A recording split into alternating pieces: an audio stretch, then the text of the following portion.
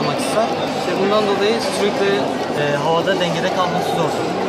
Şu anda bu cismimizin ip üzerinde dengede kalması imkansız.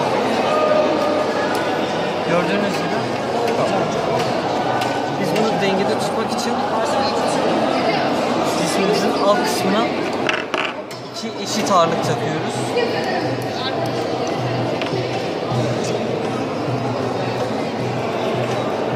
Taktığımız eşit ağırlıklar sayesinde cismimizin ağırlık merkezi cismimizin tam ortasında olduğundan dolayı dengede kalır diye düşünüyoruz.